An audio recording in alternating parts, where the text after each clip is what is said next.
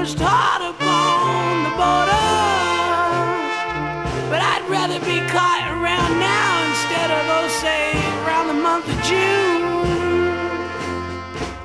But if I can leave with a little bit of explanation, then anywhere in the world,